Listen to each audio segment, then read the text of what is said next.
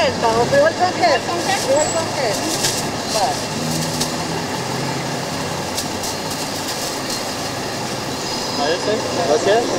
Después de casi ocho meses de haber permanecido sin ofrecer sus productos, los vendedores por cuenta propia regresaron a diferentes puntos de Antiguo Cuscatlán tras recibir el aval de la alcaldía municipal.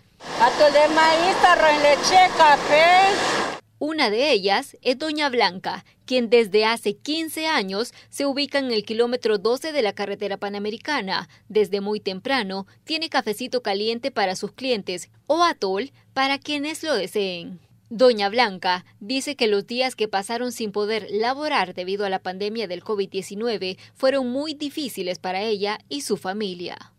Tuvimos que andar prestando para ir saliendo con nuestros hijos, ¿verdad?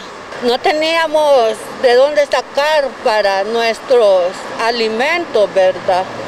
Una situación similar han pasado al menos 22 de sus compañeros de la zona, quienes dicen que el impacto económico para sus hogares fue grande, pues el comercio es su única fuente de ingresos y las deudas se les acumularon.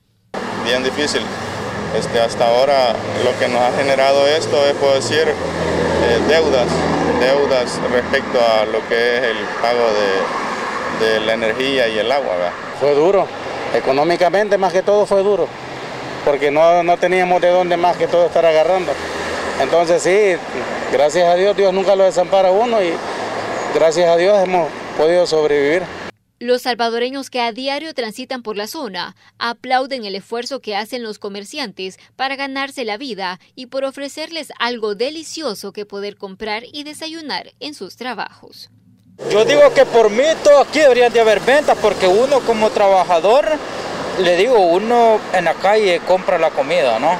Que todos necesitamos trabajar para la, el alimento diario, pero también igual tiene que seguir con la distancia. Los comerciantes están tomando todas las medidas de seguridad necesarias para cuidar de su salud y la de sus clientes. Esperan que las ventas puedan mejorar en los próximos días. Con imágenes de Juan Castellanos y Liana Leiva, Noticiero Hechos.